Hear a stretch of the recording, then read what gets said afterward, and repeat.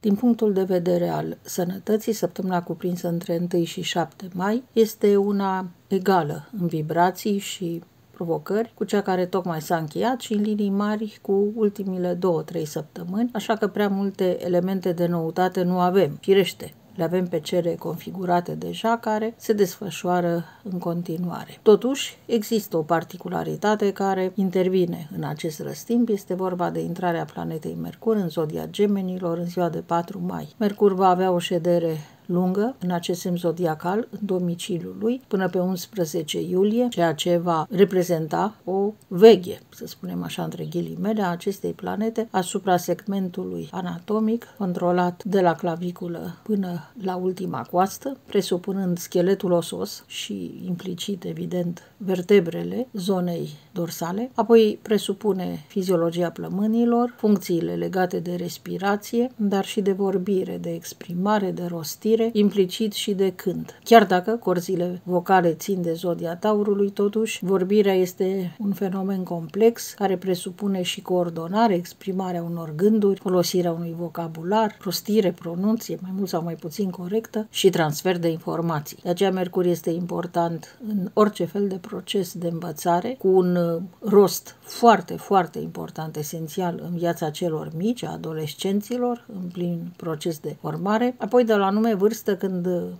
Această latură a școlarității se va fi încheiat. Mercur reprezintă pentru adulți un patronaj legat de exact ceea ce rosteam înainte, comunicare, verbalizare, rostire, intonație sau toate deciziile care se produc în forul interior. Mercur nu este doar patronul rostirii cu glas tare a unor gânduri, ci și a unor mecanisme de înțelegere, de analiză, de sinteză, de comparație și mai introduce și nuanțe esențiale în foarte multe dintre procesele logico-raționale. Din această perspectivă, prezența planetei Mercur în domiciliu este un factor bun. La un moment dat, dar nu acum, în săptămâna de care ne ocupăm, ci mai târziu, va interveni și o retrogradare. Aceasta va încetini oarecum mecanismele de comunicare, de gândire și de asimilare, dar va introduce ceva mai multă răbdare, nevoia de a reveni asupra unor aspecte insuficient asimilate, nevoia de a repeta, revizui, tocmai pentru a descoperi niște greșeli, niște lacune și, în sfârșit, poate să dea